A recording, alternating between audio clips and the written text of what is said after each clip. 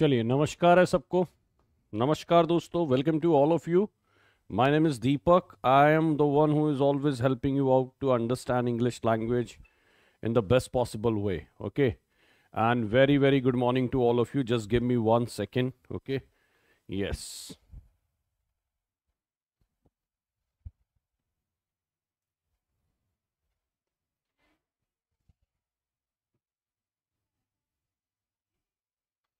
okay let's let's start working on this video and very very good morning mathili nidhi tahira ठीक है Sarman Saurabh Jyoti Khushboo Sanjay and the people who are joining for this video very very good morning to all of you guys okay जल्दी जल्दी आइए connect हो जाइए जुड़ जाइए let's see what do we have today आज के programme में हमारे पास क्या चीज़ें हैं हम क्या करने वाले हैं वो सब चीज़ देख लेते हैं गोइंग टू बी अ बेहतरीन session for all of you and I hope this is going to add some knowledge to your bucket as well right चलिए, नमस्कार है। इंग्लिश बाय दीपक सर मेरा टेलीग्राम है। कोशिश कर रहा हूँ अब से बिल्कुल एक्टिव और क्विज रहे उसमें, ठीक है? और मैक्सिमम चीज़ें आपको प्रोवाइड की जाए उसके अंदर। तो सब लोग जुड़ जाइए इंग्लिश बाय दीपक सर पे। राइट फिर से गुड मॉर्निंग है। रश्मि, शुभांगनी, ठीक है? एंड निशांका, ताहिरा, संदीप जितने भी लोग जुड़ रहे हैं।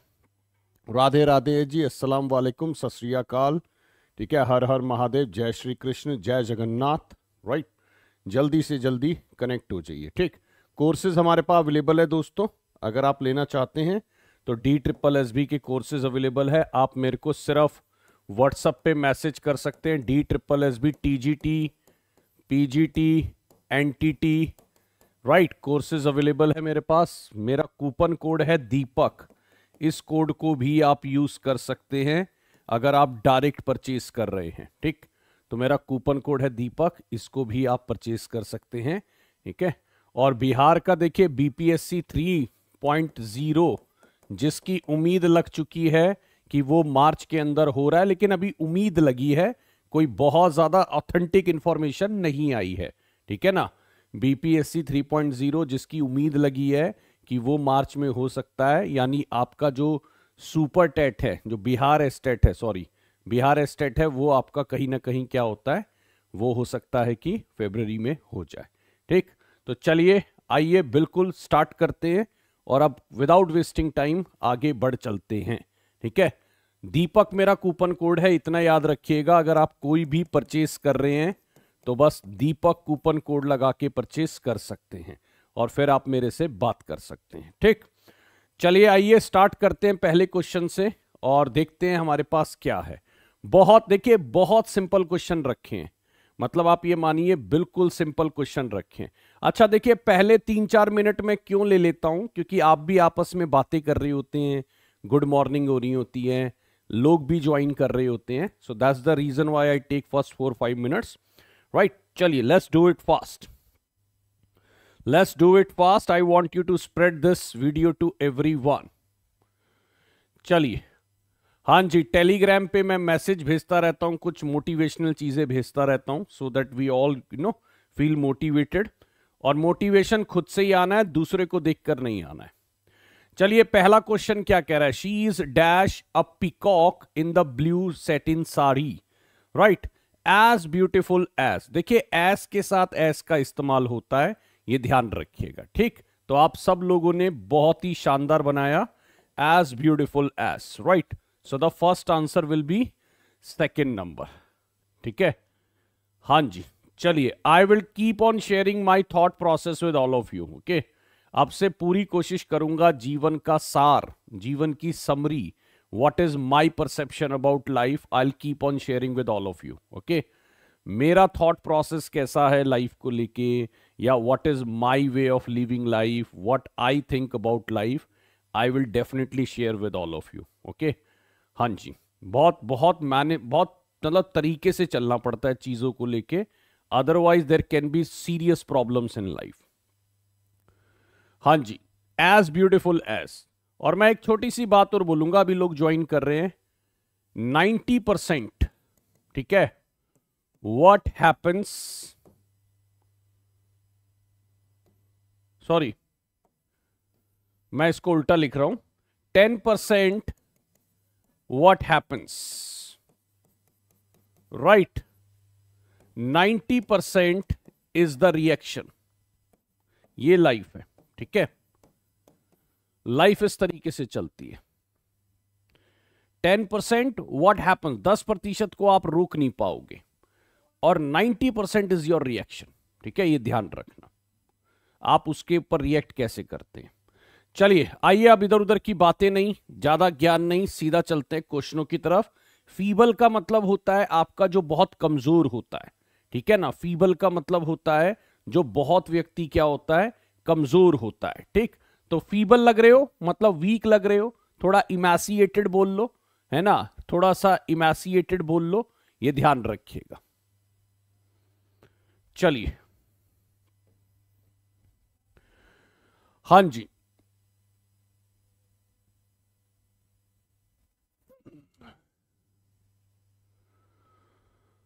हाँ जी, चलिए, बहुत अच्छी बात है। आज ये नेक्स्ट की तरफ़ बढ़ चलते हैं। I will always try to share my thought process about life okay and I I now keep on writing more things about it okay हाँ जी, अपने आप में भी एक अच्छा फीलिंग आता है वन यू राइट समथिंग हाँ जी, जल्दी से बता दीजिए, तेज़ी से चल रहे हैं हम, चालीस क्वेश्चन हमें करने हैं। अब जो है, देखो, आठ, दस के बाद स्पीड बढ़ जाती है।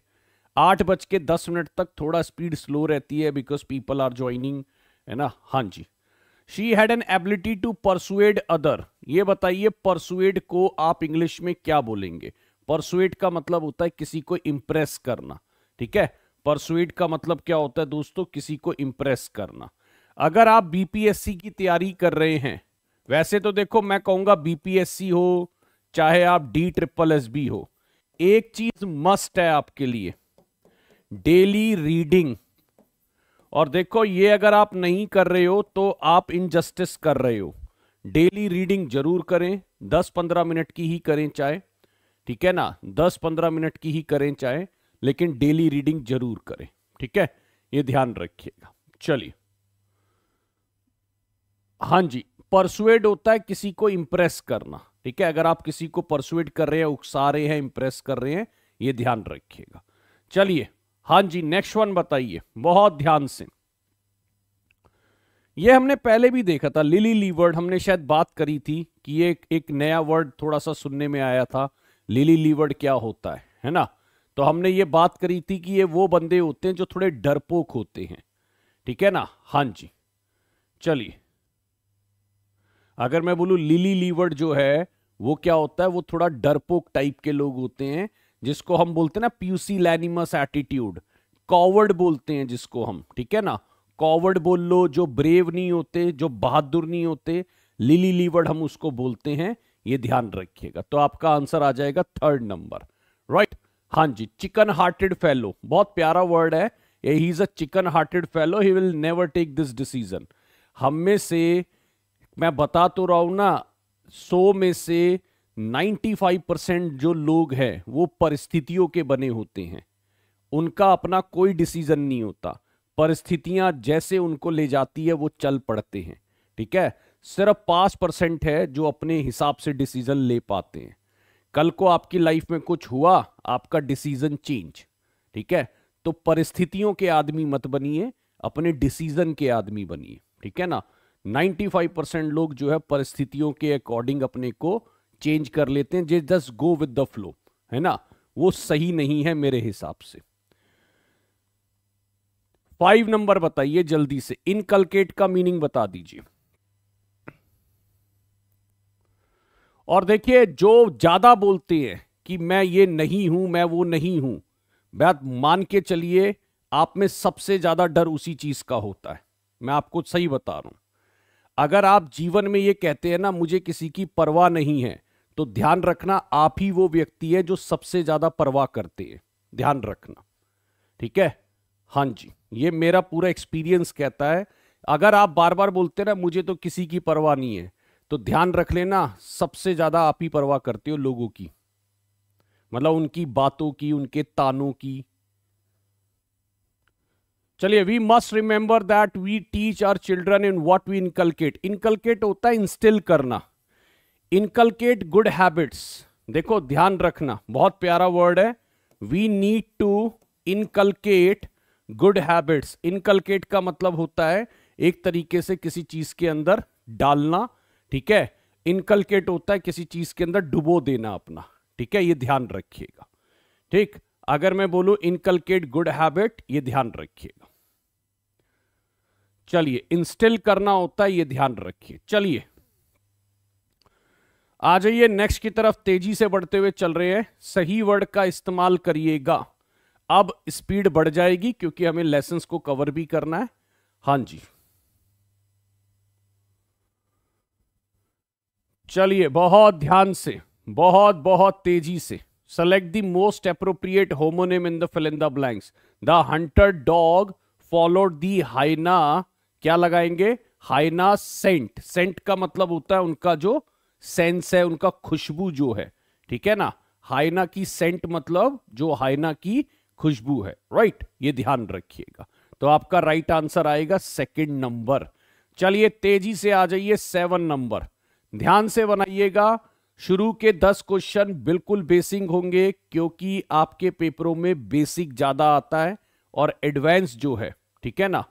हाँ जी हाँ जी। अगर मैं बोलूँ एडवांस जो है, वो थोड़ा सा रहते हैं क्वेश्चन लेकिन बेसिक बहुत आता है।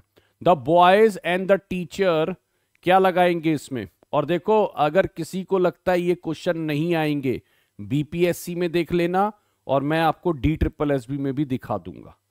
इस तरह के क्वेश्चन क्योंकि बेसिक चेक कर रहा है कि आपको वांट और वांट्स में फ़र्क पता है कि नहीं।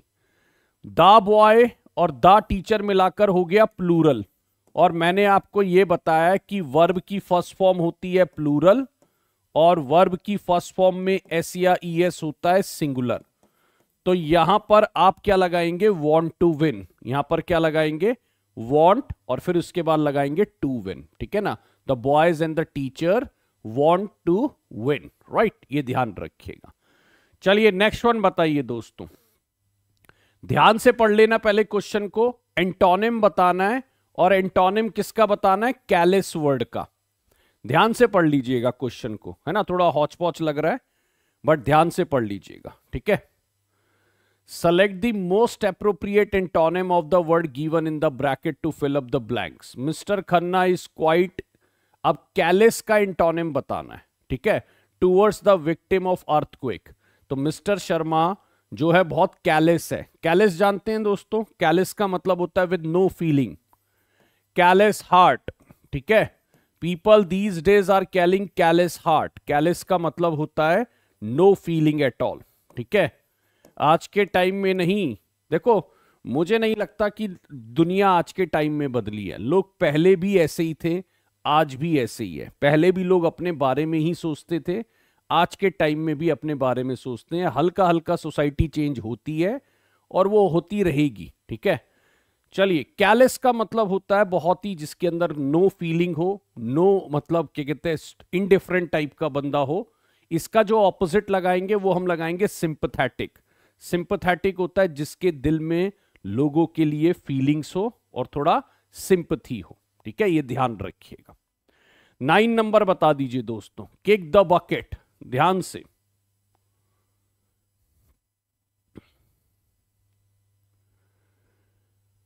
हाँ जी, बहुत ध्यान से बताइए kick the bucket if someone kick the bucket उसका मतलब क्या है दोस्तों?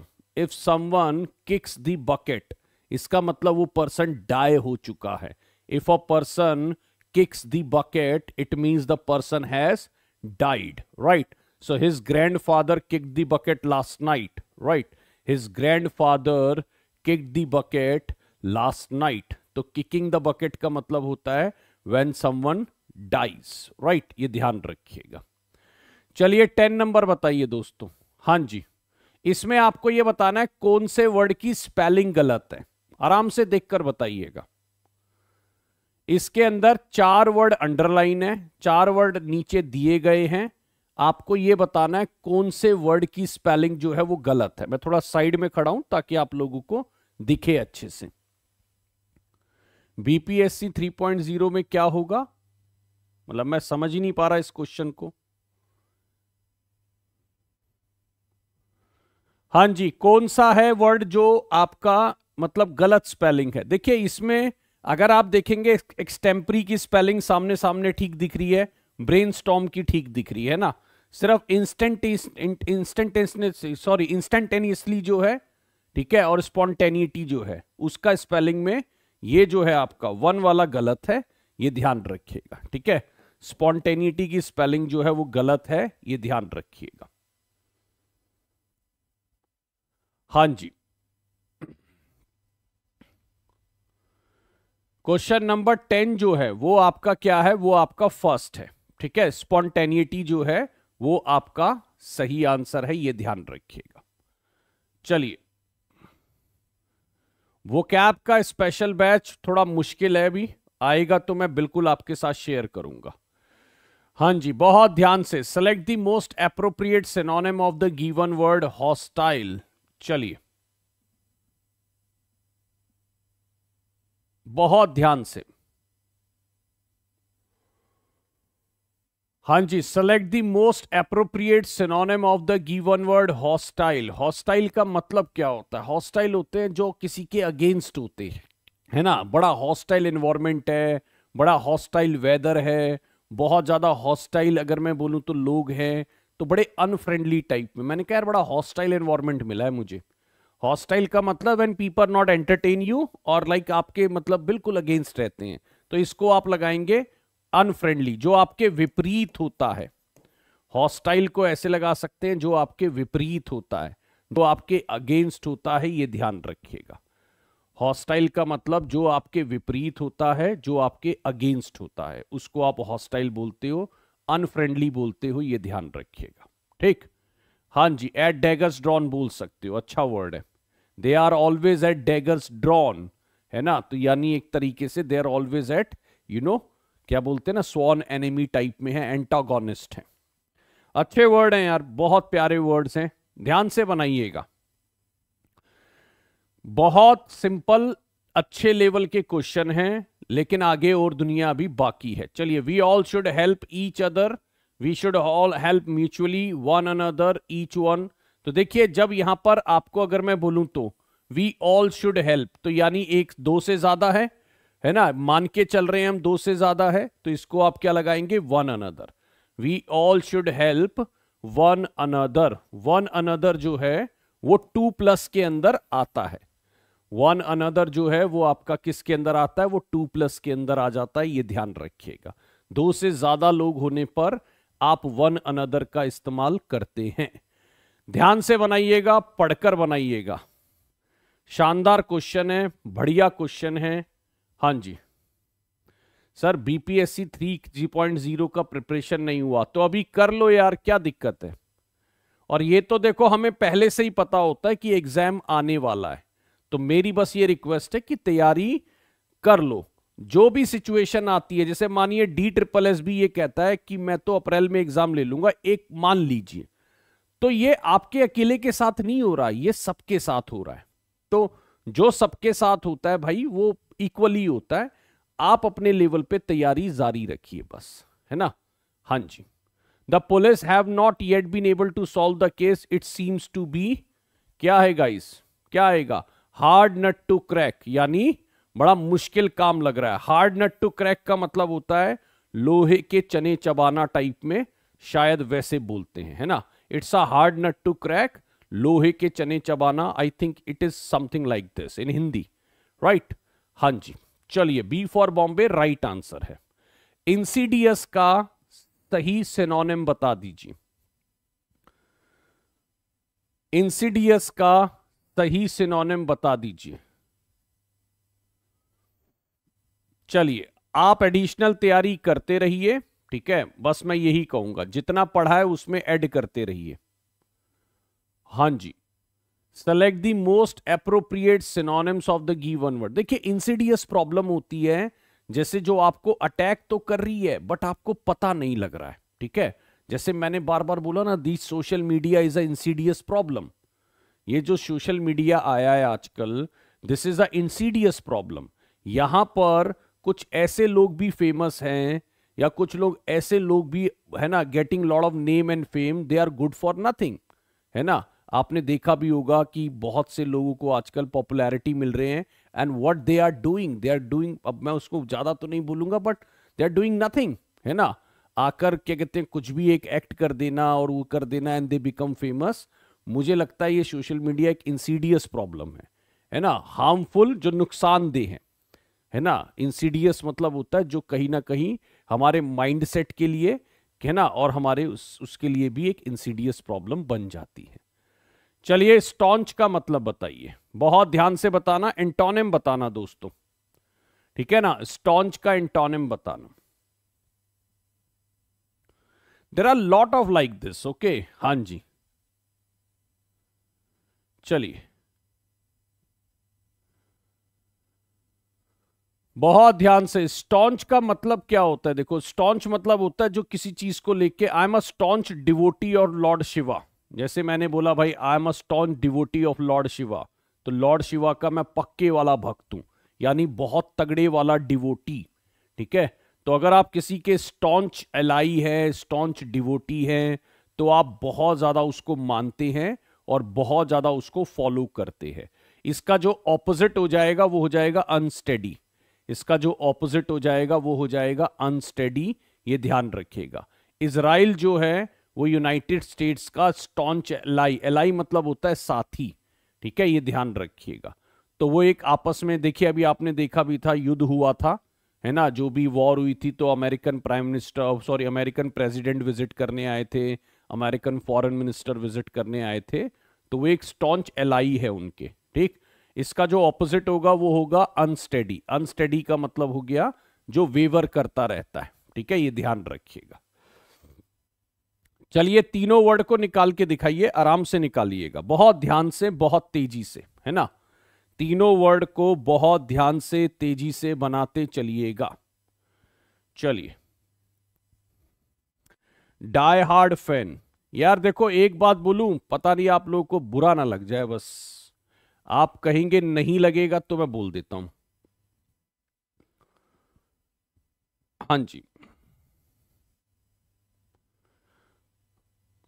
चलिए अनस्टडी मतलब होता है जो वेवर करता रहता है, जिसकी अपनी कोई ओपिनियन नहीं होती है, ठीक है ना?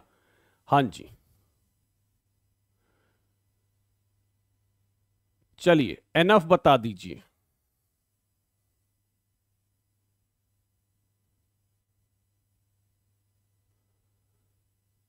हाँ जी एनफ बता दीजिए। एनफ में अगर मैं पहली बात करूँ तो देखिए एनफ जो बात कर रहा है, वो बात कर रहा है फ़ूड की। फ़ूड आपका नाउन होता है एनफ आपका एडजेक्टिव होता है, ठीक है? हाँ जी फ़ूड आपका नाउन होता है एनफ आपका एडजेक्टिव होता है राइट अब यहाँ पर थोड़ा जल्दी चला गया है तो लीव की बात कर रहा है। लीव आपका वर्ब है और एनफ आपका एडवर्ब है, ठीक है? लीव आपका वर्ब है, एनफ आपका एडवर्ब है। राइट, ये ध्यान रखिएगा। चलिए, और आई हैव हैड एनफ और मैंने काफ़ी रख लिया। देखिए एनफ मतलब मेरे पास है, क्या है? एनफ है। ये वाला जो एनफ है ना, ये यहाँ पर प्रोनाउन के रूप में आया है। ये वाला जो एनफ है ना, ये वाला आपका प्रोनाउन के रूप में आया है, ये ध्यान रखिएगा। राइट तो पहला एनफ जो है हाँ जी, पहला एनफ जो है, वो आपका है फ़ूड की बात करने वाला एडजेक्टिव दूसरे वाला एनफ है लीव की बात करने वाला, ठीक है ना? वो क्या है आपका? वो हो जाएगा एडवर्ब और तीसरा जो है वो आपका प्रनाउन के तौर पे आएगा। लास्ट वाला प्रनाउन लगाएँगे, मैं मोस्ट प्रॉब्ली मेरे पास एनफ था, मैं उसको प्रनाउन में यूज़ करूँगा। एनफ को ज़्यादातर नाउन में यूज़ करना थोड़ा मैंने देखा कम है ठीक है? ये ध्यान रखिएगा। चलिए हाँ जी, बहुत ध्यान से बनाना दोस्तों नेक्स्ट वन तेज़ी से बता दीजिए। मैं मैं एनफ को मेरे हिसाब से प्रोनाउन होना चाहिए, है ना? हाँ जी। मेरे पास काफ़ी था, चीज़ थी, चीज़ के बदले एनफ बोला जाता है। तो एनफ को नाउन के तौर पे मैंने कम ही देखा है। ठीक है? हाँ जी। चलिए बहुत ध्यान से। एक्सप्लेन कर तो दिया एक्सप्लेन कर तो दिया, देखिए फ़ूड की बात कर रहा है एनफ है, ये सब बातें बता तो दी। चलिए नेक्स्ट वन बताइए। बहुत ध्यान से बता दीजिए। हाँ जी I went into the hostel to see what student were doing ठीक है वॉट स्टूडेंट वर डूइंग ठीक है तो मैं देखने गया स्टूडेंट क्या कर रहे हैं। ठीक है तो अगर मैं बोलूँ तो वर डूइंग जो है, वो सही आंसर हो जाएगा। सिंपल है अगला क्वेश्चन दोस्तों। अगला क्वेश्चन बहुत सिंपल है। तेज़ी से दौड़ाते चलिए, बनाते चलिए। है ना? हाँ जी।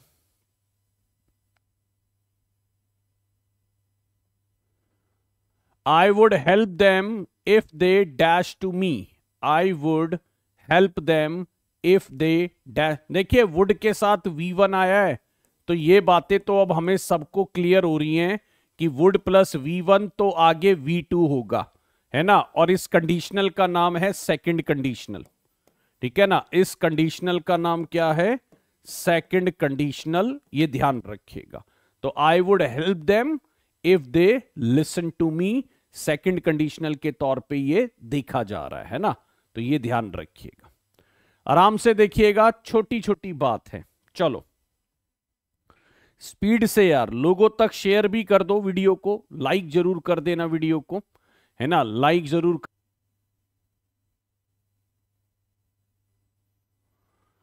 बहुत बहुत ध्यान से प्लीज़ डिस्क्राइब देखिए डिस्क्राइब वर्ड ना कोई प्रपोजिशन नहीं लेता है।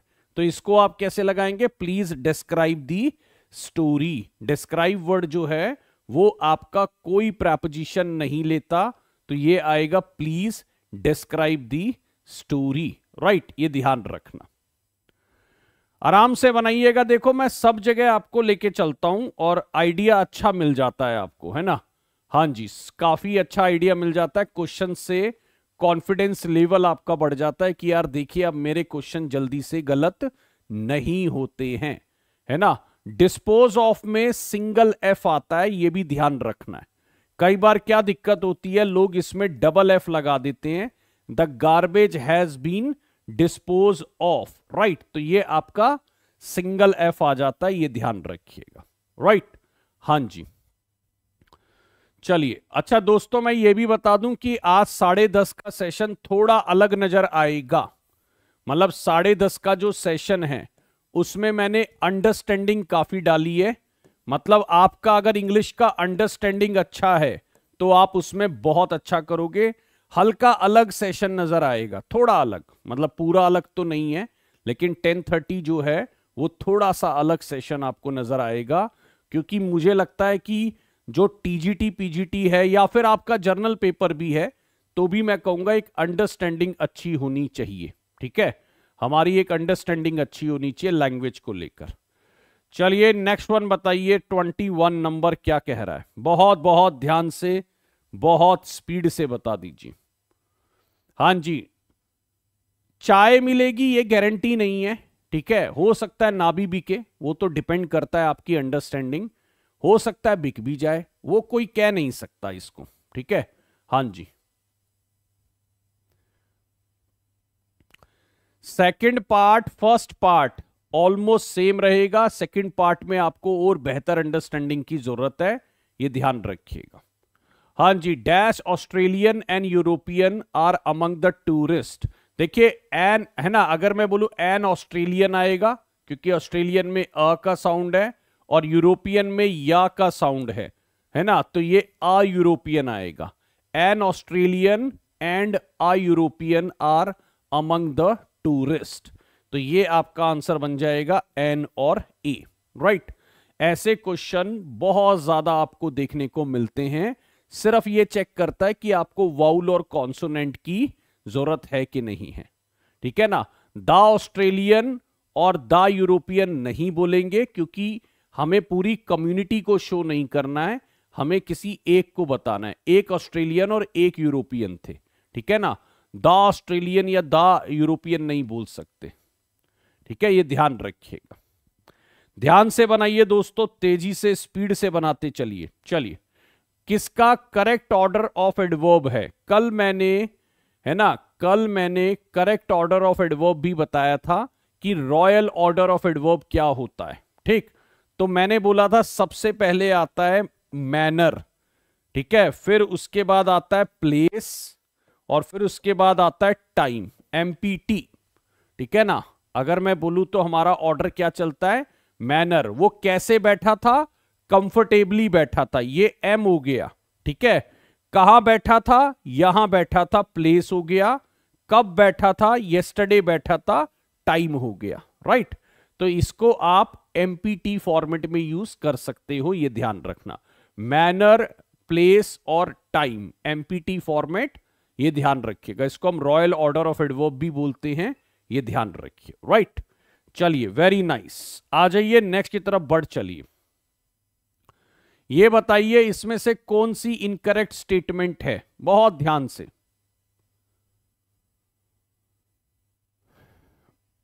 चलिए, भाई आप अंबानी से संपर्क देखिए नेटवर्क का इश्यू यहाँ से कैसे मैं सॉल्व कर दूँ? ध्यान से बनाइए, चलिए। इसमें यह बताइए, कौन सा है जो गलत है? बहुत ध्यान से बनाना दोस्तों। देखिए ए बी सी डी करना ये अच्छी बात नहीं है, ठीक है? हाँ जी। देखिए, मैं अगर बात करूँ, जितने भी हमारे आई और मी वाले प्रनाउन होते हैं, वो सारे हमारे पर्सनल प्रनाउन होते हैं। मतलब जितने भी हमारे सब्जेक्ट ऑब्जेक्ट वन अनदर जो है, वो हमारा रेसिप्रोकल होता है। वन अनदर हमारा कौन सा प्रोनाउन होता है? रेसिप्रोकल इसका मतलब ये गलत हो गया। माई सेल्फ आपका रिफ्लेक्सिव होता है समवन आपका इंडेफिनिट होता है मी आपका पर्सनल है। तो सिर्फ़ आपका बी फॉर बॉम्बे गलत है वन अनदर ठीक है ना? अगर मैं बोलूँ तो हमारा एक कौन सा है? रेसिप्रोकल प्रोनाउन है, ये ध्यान रखिएगा। चलिए नेक्स्ट वन बताइए स्पीड से, तेज़ी से लोगों तक पहुंचाते चलिए चैनल को। हाँ जी बहुत ध्यान से। 24 number. He has always been very kind enough to help me यार, इसमें ना दो बार काइंड एनफ दे रखा है तो मेरे को लगता है कि नो इंप्रूवमेंट की ज़रूरत नहीं है। आप इसमें से कोई भी लगा लीजिए, मैं ए लगा दूँ या डी लगा दूँ, ठीक है ना? हाँ जी तो मुझे लगता है चल जाएगा। अच्छा वेरी भी अंडरलाइन है। मेरे को लगता है वेरी भी अंडरलाइन है है ना? हाँ जी। तो थोड़ा सा शायद हमारे पास गड़बड़ है तो वेरी भी अंडरलाइन है तो मैं ए में लगा लेता हूँ। सुनो, वेरी भी अंडरलाइन है, वेरी काइंड इनफ तो मैं ए लगा लेता हूँ ज़्यादा प्रिफर्ड करते हुए। ठीक काइंड एनफ यानी एनफ से पहले काइंड आएगा, ये ध्यान रखना, क्योंकि यहाँ पर एनफ जो है वो एक एडवर्ब के तौर पे, है ना यूज़ होगा। तो मैं इसको ये लगाऊँगा काइंड एनफ ठीक है he has always been very kind enough to help me ये ध्यान रखिए। चलिए 24 नंबर ये बता दीजिए कि ये कौन से टाइप का सेंटेंस है। ध्यान से बताइएगा।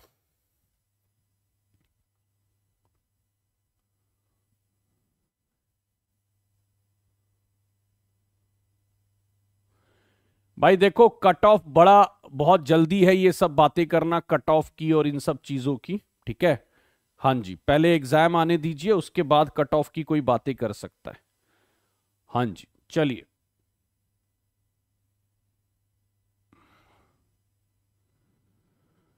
देखिए, ये एक सिंपल सेंटेंस है। दिखने में बहुत बड़ा लग रहा है, लेकिन इसमें सिर्फ़ एक ही बात कही गई है, ये एक सिंपल सेंटेंस है। इसमें एक ही प्रिंसिपल क्लॉज है। The man endured all the horror of the campaign without any of them making complaint इसमें सिर्फ़ एक ही बात हुई है और ये एक ही सेंटेंस है, इसको आप सिंपल सेंटेंस बनाएँगे। ठीक है? ये ध्यान रखिएगा। चलिए ट्वेंटी सिक्स नंबर बता दीजिए। बहुत ध्यान से।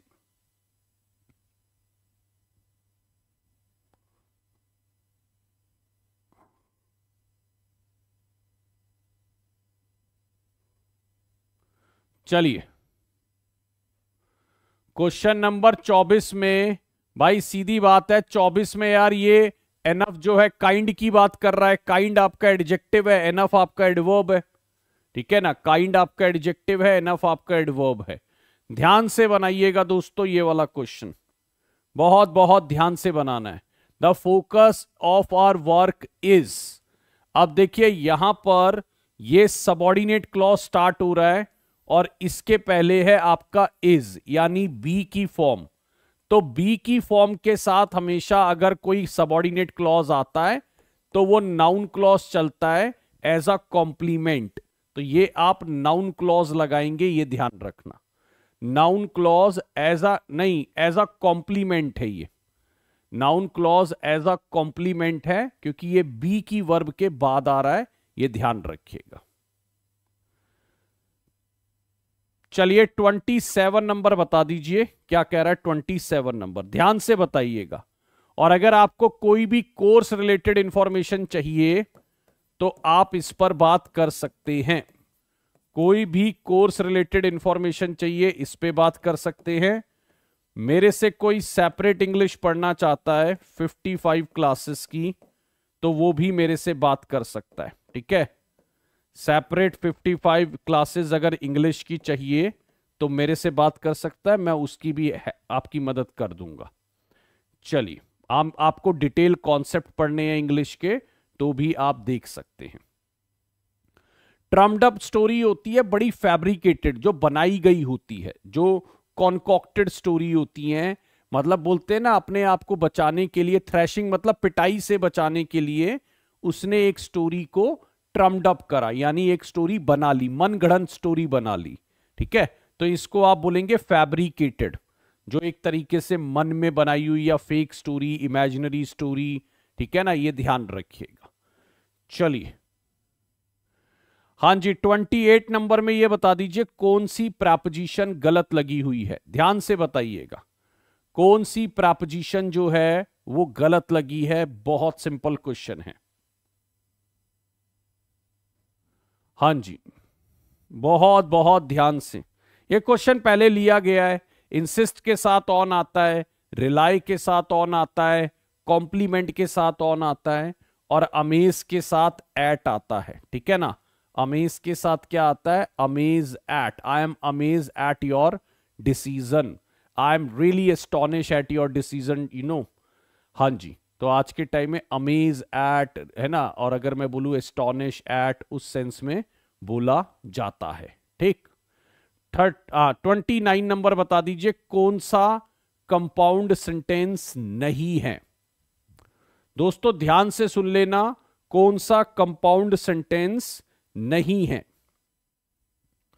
स्पीड से, तेज़ी से, बनाते चलिए, देखते चलिए कौन सा कंपाउंड सेंटेंस नहीं है। ये ध्यान रखिएगा। टेन थर्टी, अगर आपका मानिए डी ट्रिपल एस बी का जर्नल पेपर भी है तो टेन थर्टी ए एम की क्लास हमारे लिए ज़रूरी है। तो आप लोग टेन थर्टी भी जुड़ सकते हैं। जो भी जो भी किसी एग्ज़ाम की तैयारी कर रहे हैं, D triple S B, UP, TGT, PGT, या फिर आप तैयारी कर रहे हैं बीपीएससी की, कोई भी एग्ज़ाम की आप तैयारी कर रहे हैं तो वहाँ जुड़ सकते हैं। राइट? हाँ जी। देखिए, अगर मैं बात करूँ नॉट देखो the sun rose and the fog disappeared ये आपका कंपाउंड है, दो क्लॉजेस जुड़ रहे हैं, ठीक? नॉट ओनली बट ऑल्सो से कंपाउंड बनता है, ये ध्यान रखिएगा, है ना? दैट से जुड़ने पर सबॉर्डिनेट आया, ठीक है? दैट से जुड़ने पर सबॉर्डिनेट आया तो सबॉर्डिनेट आने पर वो बन गया कॉम्प्लेक्स तो ये आपका कॉम्प्लेक्स है। तो हमारा सिर्फ़ सी फॉर कैट है, जो आपका क्या अच्छा इसमें कौन सा? कंपाउंड नहीं है। सी फॉर कैट हमारा क्या है? ये हमारा सिंपल है। ठीक है ना? ये वाला हमारा क्या है? सिंपल है। तो हमारे पास सी और डी जो है, वो आपके कंपाउंड नहीं है। सी और डी हमारे कंपाउंड नहीं है, ये ध्यान रखिएगा। मतलब अगर आप कंपाउंड निकाल रहे हैं तो ए और बी हमारा कंपाउंड था और सी और डी हमारे कंपाउंड नहीं है। राइट ये ध्यान रखिएगा। चलिए नेक्स्ट वन बताइए। स्पीड से लेके चलना पड़ेगा थोड़ा सा। Suresh always dash is word and never backs out Suresh आ गया है, बहुत दिनों के बाद आया है दोस्तों। स्वागत करिए सुरेश का। हाँ जी, सुरेश बहुत दिनों बाद दर्शन दिए हैं इसने। सुरेश ऑलवेज डैश है ना? His words and never backs out Suresh जो है, वो हमेशा अपने वर्ड्स को मतलब ये होता है कीप टू कीप टू मतलब होता है जो उसने बोला उसको वो फुलफिल करेगा। जो उसने बोला वो उसको फुलफिल करेगा। Suresh always keeps to his word and never backs out Suresh अपनी बातों को पूरा करता है, वो कभी भी, है ना? हाँ जी, चलिए। अपने प्रॉमिस को पीछे नहीं हटता बैकआउट नहीं करता है। ध्यान से बनाना आसान वर्ड है अगले दस। दस वर्ड बहुत आसान है। ध्यान से, तेज़ी से स्पीड से बनाते चलिए दोस्तों। प्रीन का मतलब क्या है? बहुत ध्यान से बताना। What do we understand by the word preen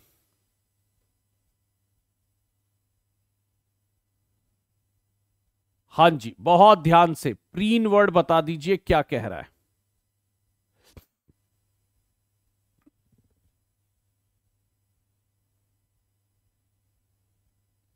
preen का मतलब होता है अपने आप को एक तरीके से, अगर मैं बोलूँ तो सुधारना you need to preen your hair preen मतलब होता है, अगर मैं बोलूँ तो जिसको हम बोलते हैं ना, सवारना, अपने आप को सजाना टाइप में ये ग्रूम आएगा। ठीक है ना? थोड़ा सा अपने आप को ग्रूम कर लो। ग्रूम करना मतलब होता है एक तरीके से सुंदर बनाना, अपने आप को सही करना, उस सेंस में बोला जाता है। ग्रूमिंग बोलते हैं। चलिए वाई बताइए। थोड़ा मुश्किल होंगे वर्ड ठीक है ना? हाँ जी। बहुत मुश्किल होंगे। थोड़े से वर्ड पे ध्यान दीजिएगा। वाई मतलब क्या होता है? मैंने कहा five thousand post and you know five lakh people vying for that पाँच हज़ार पोस्ट है, पाँच लाख लोग फॉर्म भर देंगे। तो यानी इसका मतलब the people are vying for government job vying मतलब होता है कंपीट करना, है ना? वाई का मतलब होता है प्रतिस्पर्धा करना और कंपीट करना, लड़ाई करना इन द सेंस कंपटीशन वाली सेंस में। चलिए जेनेसिस बताइए। करप्शन लालच, हमारा जो अवेरिस है that is the genesis of you know corruption पैसे के लिए हमारी ना मिटने वाली जो भूख है like the insatiable appetite for money is the genesis of corruption ठीक है? In insatiable appetite for money is the genesis of corruption ठीक है? तो जेनेसिस मतलब हो गया बिगनिंग राइट जेनेसिस मतलब क्या हो गया? The beginning of something right किसी भी चीज़ की उत्पत्ति, किसी भी चीज़ की starting that is called genesis हाँ जी थर्टी फोर नंबर बता दीजिए क्या कह रहा है। बहुत ध्यान से। एरोमेटिक क्या होगा? एरोमा आ रही है। एरोमा मतलब क्या होता है? The very very nice fragrance which is coming out so उसको हम बोलते हैं aroma the aroma coming out of the you know पड़ोसी किचन है ना? चले जाओ, मांगने कटोरी लेके चले जाते हैं कुछ लोग। है ना? लाओ जी, एक कटोरी सब्ज़ी दे दो। जरा बड़ी अच्छी सी महक आ रही थी। क्या बनाया है? है ना? So the aroma coming out of the kitchen of you know पड़ोसी सो अगर बोलूँ तो एरोमा मतलब बहुत ज़्यादा खुशबू आ रही है फ्रेग्रेंस आ रही है राइट right, ये ध्यान रखिएगा रैंकर क्या होता है किसी के मन में किसी के लिए अगर रैंकर है तो उसको आप क्या बोलेंगे ध्यान से तेज़ी से बनाते चलिए हाँ जी रैंकर का मतलब क्या होता है? Having a rancour for someone किसी के लिए हेट्रेड होना, दिल में नफरत होना। मैं थोड़ा इसको क्या लगाऊँ दोस्तों? हेट्रेड लगा लेता हूँ या एनिमिटी लगाऊँ? मैं इसको ना, मेरे हिसाब से एनिमिटी ज़्यादा अच्छा लग रहा है मुझे। या हेट्रेड है? देख लेना यार, इसमें दोनों में से कोई एक है है ना? हाँ जी, मुझे लगता है मैं enmity having rancour for someone hatred नफरत रैंकर दोनों सेम ही दे रहा है। दोनों सेम ही दे रहा है। एक बार क्रॉस चेक करना पड़ेगा। मैं किसी को मार्क नहीं कर पाऊँगा। है ना? हाँ जी, दोनों सेम दे रहा है फीलिंग एनिमिटी एनिमिटी वैसे दुश्मनी होता है। रैंकर को मैं ज़्यादा प्रिफर जो है हेट्रेड में कर सकता हूँ। चलिए डिलेटेंटिस क्या होता है दोस्तों? What do we mean by the word dilettantes हाँ जी, ध्यान से बता दीजिए what do we mean by the word dilettantes हमारा डिलेटेंटे का मीनिंग क्या होगा? ये होते हैं बिल्कुल नए नए मार्केट में जो अभी बिल्कुल नए आए हैं, या मैं नए नहीं बोलूँगा, इनको मैं बोलूँगा नौ वो नॉन प्रोफेशनल शौकिया तौर पर। नॉन प्रोफेशनल शौकिया तौर पर। देखो, अगर आपने किसी चीज़ में मेहनत नहीं की है, और आप उस चीज़ में उम्मीद ज़्यादा रख रहे हैं तो फिर थोड़ा सा सही नहीं है। है ना? थोड़ा सा आप टाइम लगाइए किसी भी चीज़ में इंग्लिश में, किसी में भी तो आप अच्छा करने लगेंगे। एमेचर बोलते हैं इसको हम नौ नौसिखिया टाइप में, इसको आप क्या बोलते हैं? एमेचर बोलते हैं, ये ध्यान रखिएगा। थर्टी सेवन नंबर बता दीजिए। वॉग का मतलब क्या है? अगर चीज़ें वॉग में हैं तो क्या है दोस्तों? बहुत ध्यान से।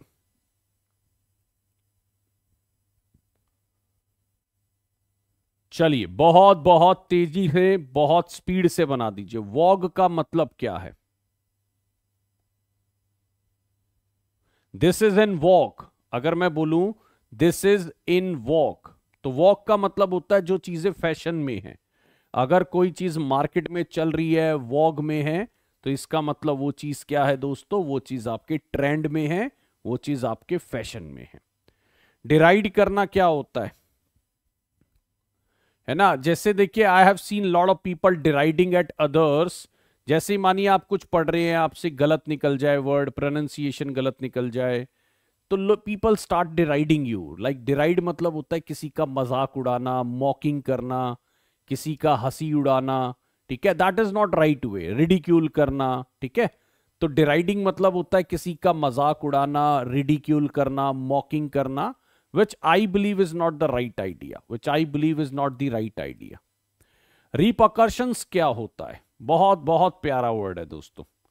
There can be serious repercussion if you keep on squandering your time like this अगर आप अपने जीवन का समय पूरे दिन बिना कुछ एड ऑन करे गुजार रहे हैं, और if you are not improving on daily basis you are not adding some value to your life on daily basis you will see the serious repercussion in the coming days जब time खराब होता है, उसके परिणाम उस दिन नज़र नहीं आते। उसके परिणाम आपको चार महीने बाद, दस महीने बाद, दो साल बाद नज़र आते हैं। ठीक है ना? और we face the serious repercussion of this okay I would request you not to fritter away your timing gossiping और on social media yes you can go and watch it you can go and be a part of any groups and everything but try not to squander your time so much on that okay तो उसके भयानक परिणाम झेलने को हमें देखने को मिल सकते